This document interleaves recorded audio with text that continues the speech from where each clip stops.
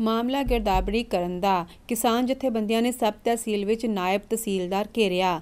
ਦੇਰ ਸ਼ਾਮ ਤੱਕ ਮੁਰਦਾਬਾਦ ਦੇ ਨਾਰੇ ਗੂੰਜੇ। ਨਾਇਬ ਤਹਿਸੀਲਦਾਰ ਦੇ ਦਫ਼ਤਰ ਦਾ ਕੀਤਾ ਘਿਰਾਓ। ਮੋਗਾ ਜ਼ਿਲ੍ਹੇ ਦੀ ਸਬ ਤਹਿਸੀਲ ਬੱਧਨੀ ਕਲਾਂ ਵਿੱਚ ਕਿਸਾਨ ਜਗਜੀਤ ਸਿੰਘ ਦੇ ਖੇਤ ਦੀ ਗਿਰਦਾਵਰੀ ਤੋੜ ਕੇ ਕਿਸੇ ਦੂਸਰੇ ਨਾਮ ਤੇ ਕਰਨ ਦੇ ਮਾਮਲੇ ਨੂੰ ਲੈ ਕੇ ਕੀਰਤੀ ਕਿਸਾਨ ਯੂਨੀਅਨ ਉਗਰਾਹਾਂ ਦੇ ਬਲਾਕ ਪ੍ਰਧਾਨ ਗੁਰਚਰਨ ਸਿੰਘ ਰਾਮਾ ਦੀ ਅਗਵਾਈ ਹੇਠ ਪਿੰਡ ਵਾਸੀ ਅਤੇ ਜਥੇਬੰਦੀ ਦੇ ਆਗੂਆਂ ਵੱਲੋਂ ਨਾਇਬ ਤਹਿਸੀਲਦਾਰ ਦੇ ਦਫ਼ਤਰ ਦਾ ਘਿਰਾਓ ਕੀਤਾ ਗਿਆ। ਭਾਵੇਂ ਮੌਕੇ ਤੇ ਨਾਇਬ ਤਹਿਸੀਲਦਾਰ ਹਾਜ਼ਰ ਨਹੀਂ ਸਨ, ਪਰ ਮੁਲਾਜ਼ਮ ਅਤੇ ਪਟਵਾਰੀਆਂ ਦਾ ਘਿਰਾਓ ਕਰ ਦਿੱਤਾ। ਇਸ ਮੌਕੇ ਤੇ ਗੁਰਚਰਨ ਸਿੰਘ ਰਾਮਾ ਨੇ ਕਿਹਾ ਹੈ ਕਿ ਨਾਇਬ ਤਹਿਸੀਲਦਾਰ ਪੱਖਪਾਤ ਕਰ ਰਿਹਾ ਹੈ ਅਤੇ ਜਗਜੀਤ ਸਿੰਘ ਦੀ ਗਿਰਦਾਵਰੀ ਨਹੀਂ ਕਰ ਰਿਹਾ, ਜਦਕਿ ਝੋਨਾ ਲਾਉਣ ਵਿੱਚ ਕੁਝ ਦਿਨ ਬਾਕੀ ਹਨ। ਪਰ ਪੀੜਤ ਕਿਸਾਨ ਦੀ ਸੋਨੇ ਵਰਗੀ ਕਣਕ ਦੀ ਫਸਲ ਖੇਤ ਵਿੱਚ ਖੜੀ ਹੈ। ਉਹਨਾਂ ਕਿਹਾ ਹੈ ਕਿ ਪਟਵਾਰੀ ਨੇ ਸਿਆਸੀ ਦਬਾਅ ਹੇਠ ਕਿਸਾਨ ਜਗਜੀਤ ਸਿੰਘ, ਜਿਸ ਦੀ ਖੇਤ ਵਿੱਚ ਕਣਕ ਖੜੀ ਹੋਣ ਦੇ ਬਾਵਜੂਦ ਵੀ ਗਿਰਦਾਵਰੀ ਹੋਰ ਨਾਮ ਤੇ ਕਰ ਦਿੱਤੀ, ਜਿਸ ਨੂੰ ਲੈ ਕੇ ਸਾਰਾ ਮਾਮਲਾ ਐਸਟੀਐਮ ਨਿਹਾਲ ਸਿੰਘ ਵਾਲਾ ਦੇ ਧਿਆਨ ਵਿੱਚ ਲਿਆਂਦਾ ਗਿਆ। ਜਿਨ੍ਹਾਂ ਜਥੇਬੰਦੀ ਨੂੰ ਯਕੀਨ ਦਿਵਾਇਆ ਸੀ ਕਿ ਕੁਝ ਦਿਨਾਂ ਵਿੱਚ ਗਿਰਦਾਵਰੀ ਕਿਸਾਨ ਦੇ ਨਾਮ ਤੇ ਦਰੁਸਤ ਕਰ ਦਿੱਤੀ ਜਾਵੇਗੀ ਅਤੇ ਇਹ ਗਿਰਦਾਵਰੀ ਲਈ ਨਾਇਬ ਤਹਿਸੀਲਦਾਰ ਨੂੰ ਕਿਹਾ ਸੀ, ਪਰ ਉਕਤ ਤਹਿਸੀਲਦਾਰ ਗਿਰਦਾਵਰੀ ਨਹੀਂ ਕਰ ਰਿਹਾ। ਪੀੜਤ ਕਿਸਾਨ ਜਗਜੀਤ ਸਿੰਘ ਨੇ ਦੋਸ਼ ਲਾਏ ਹਨ ਕਿ ਪਹਿਲਾਂ ਮੇਰੇ ਖੇਤ ਵਿੱਚੋਂ ਹੋ ਰਹੀ ਕਣਕ ਵੱਢ ਲਈ, ਜਿਸ ਦੀਆਂ ਪੱਲੀਆਂ ਦਾਤੀਆਂ ਸਾਡੇ ਕੋਲ ਪਈਆਂ ਹਨ ਅਤੇ ਥਾਣਾ ਬੱਧਨੀ ਕਲਾਂ ਵਿੱਚ ਪਰਚਾ ਵੀ ਦਰਜ ਹੋ ਗਿਆ, ਪਰ ਅੱਜ ਤੱਕ ਦੋਸ਼ੀਆਂ ਨੂੰ ਗ੍ਰਿਫਤਾਰ ਨਹੀਂ ਕੀਤਾ। ਕੀਤਾ ਗਿਆ। ਉਹਨਾਂ ਉੱਚ ਅਧਿਕਾਰੀਆਂ ਤੋਂ ਜਿੱਥੇ ਸਾਰੇ ਮਾਮਲੇ ਦੀ ਉੱਚ ਪੱਧਰੀ ਜਾਂਚ ਦੀ ਮੰਗ ਕੀਤੀ ਹੈ, ਉੱਥੇ ਹੀ ਗਰਦਾਵਰੀ ਆਪਣੇ ਨਾਮ ਕਰਨ ਲਈ ਵੀ ਕਿਹਾ ਤਾਂ ਜੋ ਮੈਂ ਆਪਣੇ ਖੇਤ ਵਿੱਚ ਖੜੀ ਕਣਕ ਵੱਢ ਕੇ ਅਗਲੀ ਫਸਲ ਬੀਜ ਸਕਾਂ। ਇਹ ਜਿਹੜਾ ਅੱਜ ਦਾ ਧਰਨਾ, ਇਹ ਪਹਿਲਾ ਧਰਨਾ ਨਹੀਂ ਹੈਗਾ।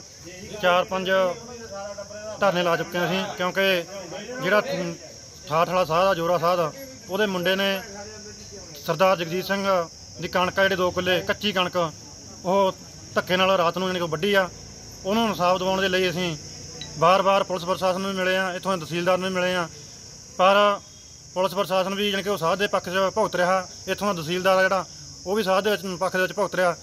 ਅਸੀਂ ਅੱਜ ਜਿਹੜਾ ਘਰਾਓ ਕੀਤਾ ਏ ਇਹ ਅਣਮਤੇ ਸਮੇਂ ਲਈ ਕੀਤਾ ਜਿੰਨਾ ਚੱਕਰ ਸਰਦਾਰ ਜਗਜੀਤ ਸਿੰਘ ਦੀ ਗਰਦੌਰੀ ਉਹਦੇ ਨਾਂ ਨਹੀਂ ਹੁੰਦੀ ਉਹਨਾਂ ਚੱਕਰ ਜਿਹੜਾ ਘਰਾਓ ਸਾਡਾ ਹੈ ਲਗਾਤਾਰ ਜਾਰੀ ਰਹੂਗਾ। ਇਹਦੇ ਇੱਥੇ ਬਹਿਣ ਦਾ ਕੀ ਕਾਰਨ ਸੀਗਾ ਅੱਜ ਕਿਉਂ ਇਹ ਜਿਹੜਾ ਅੱਜ ਜਾਣੀ ਕਿ ਬਾਰ-ਬਾਰ ਇੱਥੋਂ ਦਾ ਜਿਹੜਾ ਕੋਰਟ ਆ, ਉਹ ਤਰੀਕਾਂ ਦੇ ਰਿਹਾ, ਕਿਉਂਕਿ ਕਿਸਾਨ ਦੀ ਕਣਕ ਆ ਜਿਹੜੀ 2 ਕਿਲੋ ਵੱਢਣ ਵਾਲੀ ਆ, ਤਰੀਕ ਦੇ ਦਿੰਦੇ ਆ, ਕਿਉਂਕਿ ਝੋਨਾ ਲਾਉਣ ਦੀ ਮੂਰੇ ਲਵਾਈ ਸ਼ੁਰੂ ਹੋ ਗਈ ਆ, ਪਰ ਕਣਕ ਆ ਜਿਹੜੀ ਜਗਜੀਤ ਸਿੰਘ ਦੀ, ਉਹ ਹਜੇ ਤਾਂ ਉਵੇਂ ਹੀ ਖੜੀ ਆ ਬਾਣ ਦੇ ਵਿੱਚ। ਤੇ ਜਿਹੜਾ ਇੱਥੋਂ ਦਾ ਕੋਰਟ ਆ ਜਾਣੀ ਕਿ ਉਹ ਤਰੀਕਾਂ ਦੇ ਕੇ ਜਾਣੀ ਕਿ ਗਾਂ 10 ਦਿਨ 5 ਦਿਨ ਅੱਗੇ ਅੱਗੇ ਸਮਾਂ ਟਪਾ ਰਿਹਾ। ਪਰ ਹੁਣ ਅਸੀਂ ਸਾਡੀ ਮਜਬੂਰੀ ਆ, ਕਿਉਂਕਿ ਅਸੀਂ ਝੋਨਾ ਵੀ ਲਾਉਣਾ, ਕਣਕ ਸਾਡੀ ਖੜੀ ਆ, ਉਹਨੂੰ ਵਧਾਉਣ ਦੀ ਖਾਤਰ ਇਹ ਜਿਹੜਾ ਧਰਨਾ ਉਸੇ ਸਮੇਂ ਲਈ ਲਾਇਆ। ਇਹ ਅਸੀਂ ਉਹ ਕਰਵਾ ਕੇ ਉੱਠਾਂਗੇ। ਅੱਜ ਤਹਿਸੀਲਦਾਰ ਆਏ ਕਿ ਨਹੀਂ ਇੱਥੇ? ਤਹਿਸੀਲਦਾਰ ਆਏ ਆ ਬਾਰ-ਬਾਰ ਜਾਣੀ ਕਿ ਉੱਥੇ ਸਾਡੀ ਗੱਲਬਾਤ ਵੀ ਹੋਈ ਆ ਵੀ ਇਹ ਹੁਣ ਤੁਹਾਨੂੰ ਤਰੀਕ ਕਿਹੜੀ ਗਾਂ 18 ਤਰੀਕ ਦੇ 14 ਤਰੀਕ ਦੇ ਦੇਣਾ 14 ਤੋਂ ਜਾਣੀ ਕਿ ਡਿਪਟੀ ਸਾਹਿਬ ਨੇ ਵਿੱਚ ਪੈ ਕੇ ਉਹਦੇ ਕਹਿੰਦਾ 12 ਤਰੀਕ ਦੇ ਦੇਣਾ ਜਿਹਦੇ ਤੋਂ ਅਸੀਂ ਸਾਫ਼ ਉਹਨਾਂ ਨੂੰ ਮਨਾ ਕਰਕੇ ਆਏ ਵੀ ਅਸੀਂ ਨਹੀਂ ਕਿਉਂਕਿ 13 ਤਰੀਕ ਨੂੰ ਅਸੀਂ ਝੋਨਾ ਲਾਉਣ ਲੱਗ ਜਾਣਾ ਉਦੋਂ ਪਹਿਲਾਂ ਸਾਡੇ ਕੋਲ ਵੀ ਕੰਮ ਨਹੀਂ ਜਾਣਾ ਸਾਰੇ ਕਿਸਾਨਾਂ ਨੇ ਉਧਰ ਝੋਨੇ ਲਵਾਈ ਚੁੱਲ ਜਾਣਾ ਪਰ ਅਸੀਂ ਉਦੋਂ ਪਹਿਲਾਂ ਪਹਿਲਾਂ ਅਸੀਂ ਘਰਾਓ ਆ ਜਿਹੜਾ ਅੱਜ ਦਾ ਇਹ ਕਰਕੇ ਜਾਣੀ ਕਿ ਕਿਸਾਨ ਦੇ ਨਾਂ ਜਿਹੜੀ ਗਦੌਰੀ ਆ ਉਹ ਕਰਵਾ ਕੇ ਫੇਰ ਹੀ ਦਮ ਲਾਵਾਂਗੇ। ਹੁਣ ਅੰਦਰ ਬੈਠੇ ਨੇ ਤਹਿਸੀਲਦਾਰ। ਤਹਿਸੀਲਦਾਰ ਨੇ ਉੱਥੇ ਅੰਦਰ ਮੁਲਾਜ਼ਮ ਬੈਠੇ ਆ, ਪਟਵਾਰੀ ਸਾਹਿਬ ਬੈਠੇ ਆ।